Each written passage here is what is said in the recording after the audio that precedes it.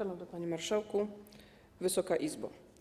7 lutego bieżącego roku e, większość sędziów odrzuciła sp- sprawozdanie roczne z pracy Sądu Rejonowego w Olsztynie, wydając tym samym negatywną ocenę pracy prezesowi Sądu Rejonowego Maciejowi Nawackiemu. W dalszej części tegoż e, posiedzenia sędzia Wojciech Krawczyk złożył wniosek formalny w imieniu 33, 31 wnioskodawców Sądu Rejonowego w Olsztynie, m.in. w sprawie sędziego Juszczyszyna. I stały się rzeczy niebywałe.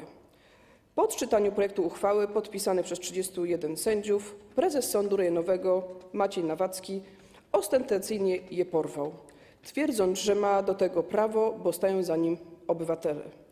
Takie zachowanie to publiczny wyrażany gest pogardy wobec sędziów, z którymi na co dzień pracuje im prezesując. Jest oburzające i dyskwali- dyskwalifikujące zachowanie pana Macieja Nowackiego jako sędziego i prezesa Sądu Rejonowego.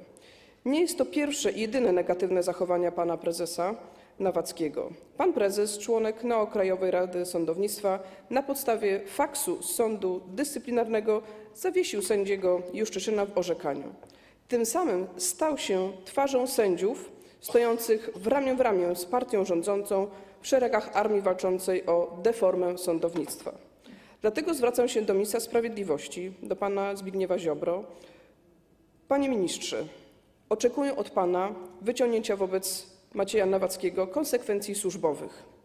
Czyn pana Nawackiego wyczerpuje znamiona przestępstwa z artykułu 276 Kodeksu karnego, który mówi: Kto niszczy, uszkadza lub usuwa dokument, w którym nie ma prawa wyłącznie rozporządzać, podlega grzywnie, karze ograniczenia wolności albo pozbawienia wolności do lat dwóch. Liczę na to, że jako przełożony nie pochwala pan zachowania prezesa Olsztyńskiego Sądu Rejonowego pana Macieja Nawackiego. Zatem oczekuję odpowiedzi na poniższe pytania na piśmie. Kiedy minister sprawiedliwości podejmie odpowiednie kroki, mm, podejmie postępowanie dyscyplinarne wobec pana Macieja Nawackiego, prezesa Sądu Rejonowego w Olsztynie? Czy kiedy zostanie powołany rzecznik dyscyplinarny, który zainteresuje się sprawą czynu pana Nawackiego podarciem projektu uchwał olsztyńskich sędziów? Proszę o odpowiedzi na piśmie. Dziękuję.